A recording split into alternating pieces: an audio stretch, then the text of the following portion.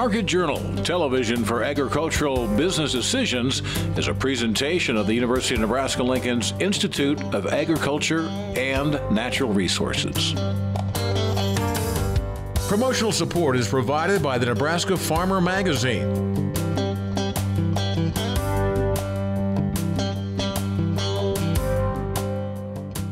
Hello, everyone. I'm Bryce Doeschot, and thanks for joining us today on Market Journal. Since the University of Nebraska Lincoln is on shutdown for the holiday break, we'll be taking a look back on some of our most popular stories over the past couple of years.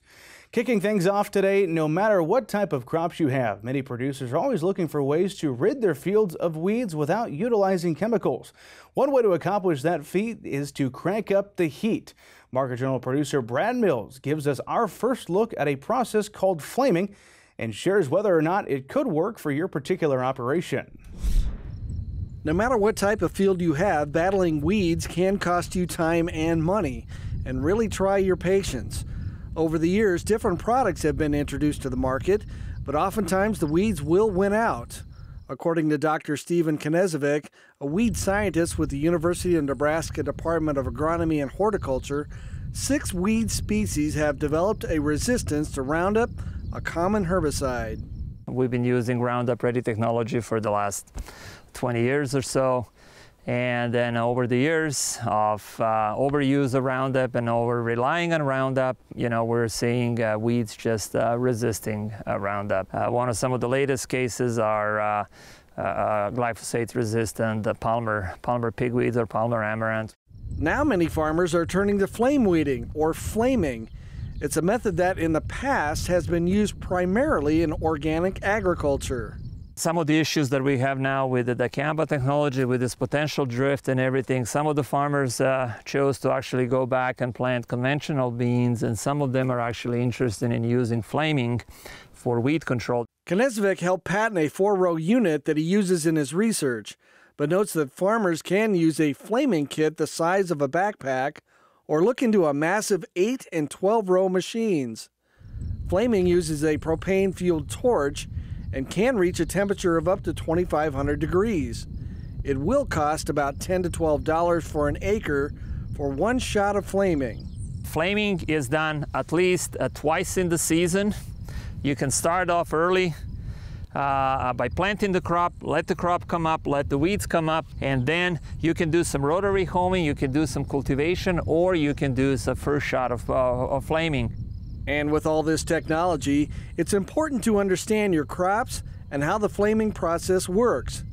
Improper use could result in a severe loss of yields depending on which crop you have, some crops are, tr are, trickier than other. You know, if you flame, for example, beans, uh, you can kill the beans or you can hurt the beans pretty bad if you don't know what you're doing. Corn is uh, corn, all three corn types and sorghum. These are grassy type crops that are pretty resilient to flaming. Uh, you can nip the leaves uh, with the uh, with the flame, uh, but the grow from the growing point, the new new plant just going to keep keep going. In soybeans, if you nip the growing point of soybeans, then you're in trouble. So basically, and then you can come back later on when the plants have some height and everything and do a second shot, second shot of flaming. Currently, the technology's biggest drawback is a lack of equipment for flaming to be the only source for weed control. But researchers see the method as having a strong potential.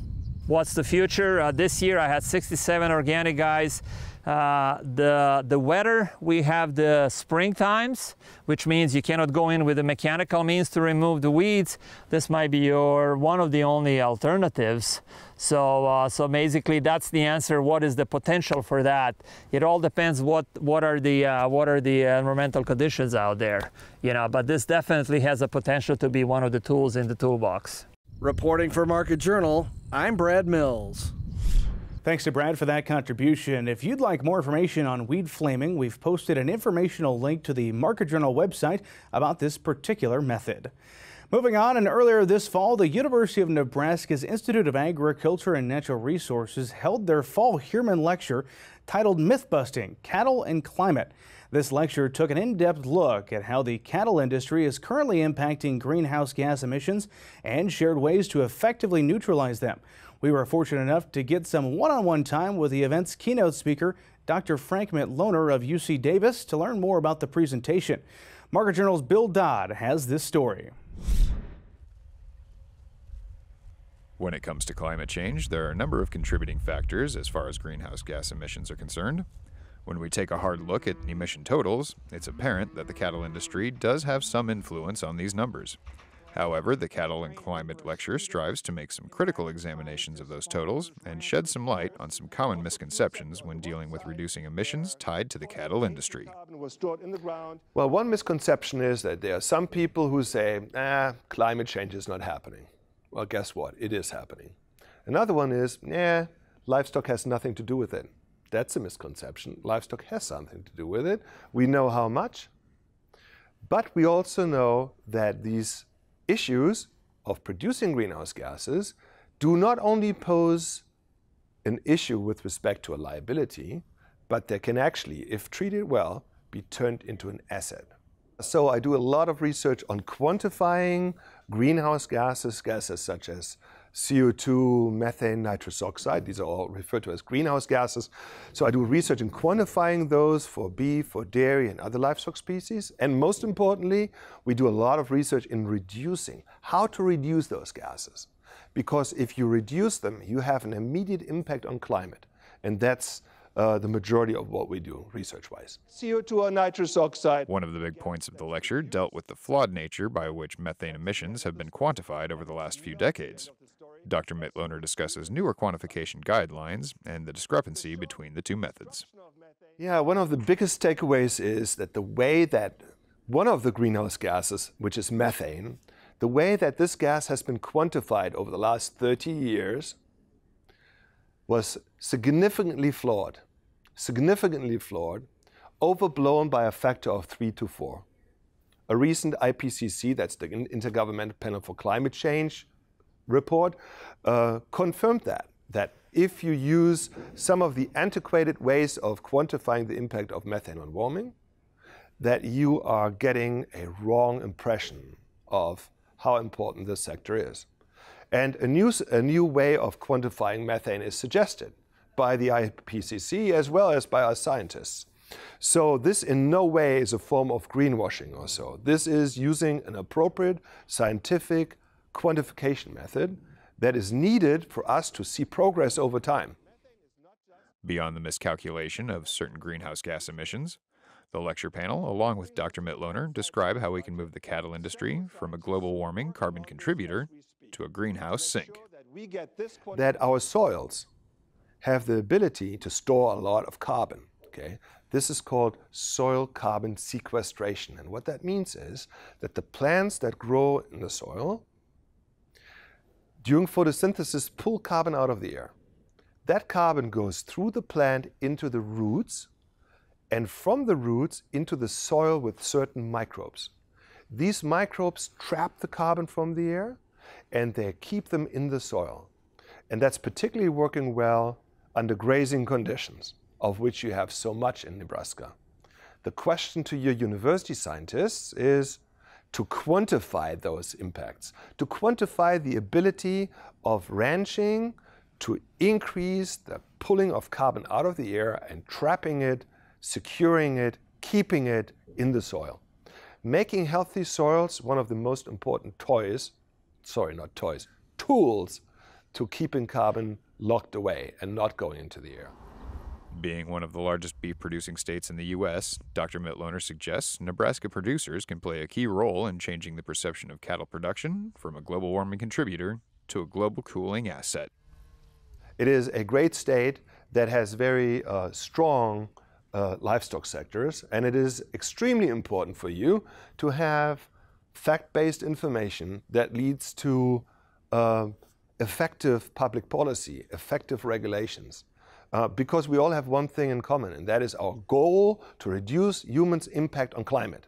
The livestock sector can be an important solution in this context, and in the next 10 to 20 years, we will show not just that we can re reduce impacts, but turn this industry into one that's not viewed as a challenge, but as an asset, not just producing food, but also helping us on the climate side. We would once again like to thank Dr. Frank Mitloehner for taking the time to talk with us. If you didn't miss the Fall Heuermann lecture and would like to see what you missed out on, we've taken the liberty of posting a link to the video of the event on the Market Journal website. Moving on, and no matter what the crop, farmers and ranchers need to manage their production with purpose. Even if the crop is trees, management of those woodlands can create can be critical if the landowner is expecting an income stream from that land for timber, firewood, walnut veneer, or other markets. One practice called crop tree thinning calls for landowners to identify the trees in their particular woodlands that are not marketable or do not serve a particular purpose and to remove those trees that compete for moisture and sunlight with trees that do serve a purpose for the landowner, even if that purpose is purely recreational. You can learn more about crop tree thinning in the December issue of the Nebraska Farmer. It is now time for weather with the Nebraska Extension Ag climatologist and Market Journal chief meteorologist Al Dutcher. However, since we recorded this episode early due to the university's holiday shutdown, Al will be going over the top five weather events from 2021. Well, it's that time of the year for us to do the annual update of the, what I consider the top five weather events that impacted agriculture during the year. I will say right up off the bat that the event that we've seen on December 15th with the severe weather is not included in this top five, and primarily because it didn't occur during the growing season where we would have seen more considerable damage and we still don't have all of the storm reports in terms of property damage losses. So from that retrospect, we're going to put that in number six position. But the number five position is a continuation of the drought across the state. We did see some alleviation of that drought during the spring period, in the late winter spring period across the panhandle with the blizzard that brought the cold weather in, and the very, very brutal cold weather into the state. And we did see much in the northeastern part of the state increase its intensity in drought during the winter period, and that was a southern periphery of what the northern plains drought that continued for pretty much the entire summer. Now, as we got into the middle of the summer, we also started to see some dryness expand from central Nebraska into southeast Nebraska before the rains came during the late part of August into early September to help alleviate some of those conditions. But since this fall, we have been seeing very dry conditions across the western part of the state, so the drought will continue well into 2022. In fourth place was a high irrigation demand that we've seen across western Nebraska. That's something we haven't had to deal with for the past few years. We've been seeing good precipitation events develop during the second half of the summer. This year it wasn't the case, and so that's taken our reservoir levels on the Platte down significantly. And if we look at the upstream reservoirs, basically Seminoe, Pathfinder, Glendo, and McConaughy all under 60%. In fact, we're down into the low 20% range as we look at uh, the Seminoe Reservoir, and if we look at Glendo, we're at 14%. So we're going to need to see some significant snowfall this winter, or we're going to have to pay particular attention to potential water restrictions as we go forward in time. Now, in the third position is the summer heat, and we've seen a rec- we've seen a temperature hit 109 degrees in Culbertson. That occurred on the 16th, and the Hartington in Trenton Dam on the 17th. At least 7 or 80%, excuse me, of our stations broke 100 degrees this year. The worst of the summer heat was from the 16th to the 23rd of June. And additional information, Chadron and Valentine reached 100 degrees on 12 days, but the highest value was basically at Trenton Dam with 15 days. In second place was our January snowstorm. 6 to 12 inches of snowfall hit much of south central, central, east central, and southeastern Nebraska. The maximum accumulation we've seen with this from our co-op sites was 14.8 inches at the Lincoln Airport, and the maximum from the NeRAIN Network was 17.5 inches at Lincoln to Southwest, which is within an within a mile, mile and a half of where I'm located, and I recorded uh, 16 inches, so very comfortable with those totals. But in first place, by far, the Arctic blast that we've seen move into the state and that, that total period was from February 6th to the 17th, with the most significant of the cold weather occurring the 14th and the 15th, as we've seen the aftermath of the blizzard in the panhandle pull that Arctic air all the way down into Texas. The lowest temperature recorded so far that we have, minus 42 degrees at Fairbury 5 South. Every station that we have in the state that reported temperatures recorded at least minus 10 below zero. And when you take into consideration the spread between the highest temperature and the lowest temperature recorded in the state this year, it was 151 degree spread in a little over three months. And in addition to that, the all time difference between the highest temperature recorded in the state and the lowest temperature recorded in the state, and they didn't occur in the same year, was 165 degrees. So this was a very significant event. I hope that all of you have had a good holiday season. We'll be back to see you next week with a typical weather forecast. Thanks, Al. Up next, one goal of any producer is to improve profit margins. Enter range cow nutritionist and extension specialist for West Central Extension Research Center, Travis Mulliniks. Last spring, we caught up with Travis to discuss how the Gudmundsen Sandhills Laboratory Ranch of the Future is working to improve profit margins for cattle producers. Just north of Highway 2, in a sleepy sliver of the Sandhills, lies the Gudmundsen Sandhills Laboratory. This location is the centerpiece of what is known as the Ranch of the Future. As input costs continue to rise for many beef producers, researchers are using new technologies here to construct the most state of the art management systems. With production agriculture, we've got tighter margins. Uh, increased cost of labor, increased uh, uh, feed cost, increased land cost. And there are output traits that we have, so say calf weaning weights, have not changed. And, and so our outputs are, are stabilized, but our inputs are keeps going up. And so that's challenging to be profitable. And, and that's where one area we see technology coming in and playing is, is how can I decrease or manage these costs better? Um, well, another one is labor, uh, finding skilled labor. And some of these technologies may not do away with labor, but they, they'll help with areas that we may be a little short in labor and help us make those decisions that used to require additional person. From monitoring health and well being to decreasing feed input costs, there are a plethora of new technologies that are being implemented at GSL that can assist ranchers in making better management decisions faster. So th there's a lot of new ear tag technologies. There's new companies coming out with uh, technologies looking at reproductive performance or indicators, uh, calving events, uh, looking at health statuses, etc.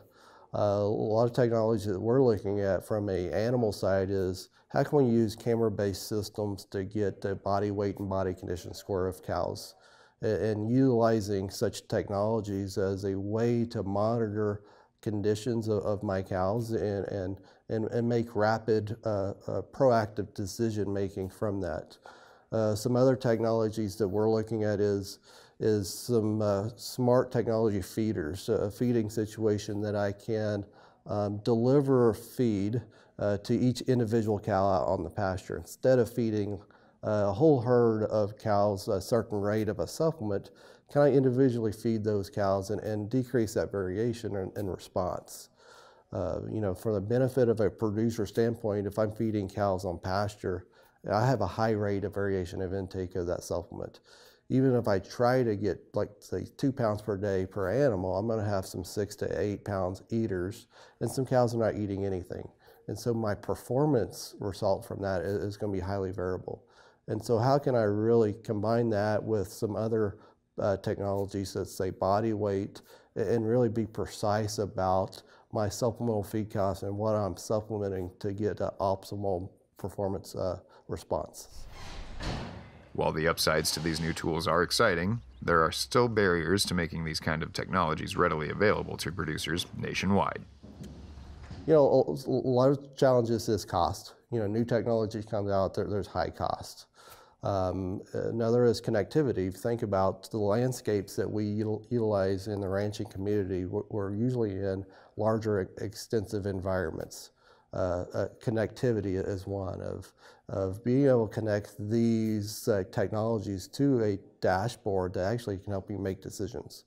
Uh, and that's been the problem with a lot of technologies is that they, they've been available, but they don't work in our situations because of where our cows at. You know, in the dairy industry, they, they've utilized technologies for a long time due to the location of where their cows being able to connect wirelessly to these technologies into a platform to get those uh, that data back in a way to make decisions. Uh, and so connectivity is another challenge that we're faced of, of making improvements in adoption of technologies. As a centerpiece of the Ranch of the Future, the research conducted at Gudmundsen Sandhills Laboratory has brought together students and faculty in closer connection with farmers and ranchers to help them make some of the best long and short term management decisions possible. Reporting for Market Journal, I'm Bill Dodd. Thanks, Bill. It's always interesting to see what our colleagues in the more west side of the state are up to. Finally, today, the University of Nebraska has been at the forefront of research into Nebraska's newest agricultural commodity, that being hemp. Earlier this year, the Nebraska Industrial Agricultural Products Center hosted a hemp seed oil press demonstration in conjunction with the Lancaster Farmers Hemp Farm Road Trip. This demonstration gave UNL researchers who work with industrial hemp the opportunity to share information regarding this new in industry, and we were fortunate enough to have a front row seat. Since industrial hemp was made legal with the 2018 Farm Bill, the specialty crop has been an intriguing prospect for many producers around the country. Furthermore, the work being done here at the University of Nebraska was intriguing enough for industrial hemp podcast producer Eric Hurlock of Lancaster, Pennsylvania, to make the trek to the University of Nebraska as a highlight of his 2021 National Hemp Tour. This tour aimed to give focus to the grain and fiber aspects of the hemp crop. And uh, this summer, I went on a tour to sort of shine a light on fiber and grain producers and processors in the country. Because it seems like over the past few years, CBD has sort of taken all of the oxygen out of the conversation around industrial hemp. And that's left a lot of farmers sort of burned, um, left holding the bag, you know, not being able to sell their crops. And to me, the long term potential of industrial hemp is in the, the industrial applications of fiber and grain, you know, food and things we can make from it. You know, so the, the hemp plant is essentially the raw materials of all the things we could be making. You know, it sequesters carbon. Uh, it's a superfood. It's just there's so many positive reasons that farmers should be growing hemp, and it's sort of my mission to help educate them and remind farmers that there's more to this than CBD and that it's not marijuana. It's it's agriculture. It's big ag. It's it's row crop farming. It's you know it's combines and and drill presses and it's it's agriculture and it's going to be a great um, addition to the rotation. You know, throw it in with corn and soy and we have this whole other industry, uh, an industry that's not possible without farmers. You know, we can't do this without farmers. So the the mission of this tour is to remind farmers that you know we can't do this without them and there's a lot of potential here on this particular stop of the tour, we were able to see how the University of Nebraska's Industrial Ag Products Center is utilizing hemp seed to produce products consumers like you or I could use on a daily basis by separating the oil from the seed. Yeah, so oh, by separating the seed into its oil components and its its protein components, it's it's actually protein and fiber come out as what is referred to as the cake. That's what's coming out of the end of the ex- expeller, and then the oil is dripping out the bottom. And we've got some uh, product comes through there, but we can then filter that off. And then the clean oil would be used like a vegetable oil for our cooking oils or frying oils, salad dressings, and it's uh, high, got a different uh, fat pro- fatty acid profile, so has some of those uh, nice desirable oils that people want that have the omega threes, A's, A's in them. So that's one way advantage of getting this oil product. And then on the protein and, and side, the, this product actually has the hulls on it yet. So it's high in protein, but it's still got quite a bit of fiber in it. If we'd use a piece of equipment before this to dehull it, then we'd have a much higher protein product coming out the end of the expeller, and that might be used for human food as well. When it comes to applications for the use of hemp seed oil and hemp stalk, there are a multitude of possibilities, and the Industrial Agricultural Products Center is leaving no stone unturned.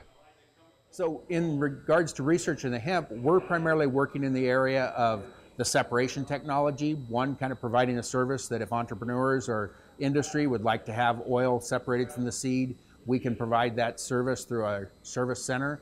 And then from the research standpoint, uh, there's interest in the fiber as well of whether we can use the hemp plant fiber, so more from the stalk of the uh, plant, and whether we could use that for fiber. And then there's research going on from that lignocellulosic portion of it. Can we use that as a feedstock? The industry is pretty well developed already. If we can get a animal feed protein, you know that'll kind of just drop in as a, a alternative to soybean meal. But the fiber side is still still where the use of the lignin or the cellulose portions of the fiber from the plant could be used. That's when we might talk about biofuels from cellulosic biofuels that would come from the hemp plant that you could use the stalk for that application and the seed would still go to a, a more traditional application. While the hemp industry is up and running in the United States, Eric points out that there's still a significant amount of red tape to cut when it comes to making hemp a mainstay crop for many producers around the country. It's like this crop could be an excellent feed for livestock, um, poultry, hogs, cattle, anything could be could be eating this, but it's still illegal. You can feed hemp seeds to your children, but not to your your cattle. So like that doesn't make any sense to me. Um, but there are people out there working on that. Um, but yeah, we need to change the federal regulations. Um, I think we also need to raise the THC limit. Right now, the legal definition of industrial hemp is 0.3%. Um, and that's just a little too low because some of these varieties will, will spike under certain conditions. And when I say spike, they'll get a little bit more THC, like over that legal limit, but nothing near what is in actual marijuana. Um, so just to give a little extra room there would be would be good for farmers. As the Industrial Hemp Podcast continues to discuss the possibilities for utilization of the hemp plant, the University of Nebraska's Industrial Agricultural Products Center is leading the charge into the benefits this crop could hold for the ag industry and consumers alike. Reporting for Market Journal, I'm Bill Dodd. If you'd like more information on the University of Nebraska Lincoln's Industrial Agricultural Products Center or that hemp podcast from Lancaster Farming, we've included some helpful links on the Market Journal website. That is going to wrap up this year's holiday episode. If you happen to miss a story, be sure to download the Market Journal mobile app, or you can always follow us on YouTube and social media to join in on the conversation. Next week, we'll be back to our regular format with all new reports. On behalf of myself and the entire Market Journal team, we hope you and yours are having a safe and enjoyable holiday season. Hope to see you right back here next time. Until then, I'm Bryce Doeschot. Thanks for watching. Join Market Journal online at marketjournal.unl.edu. You can also follow us on Twitter, Instagram, and Facebook. Promotional support is provided by the Nebraska Farmer Magazine. Market Journal is produced by the University of Nebraska Lincoln's Institute of Agriculture and Natural Resources.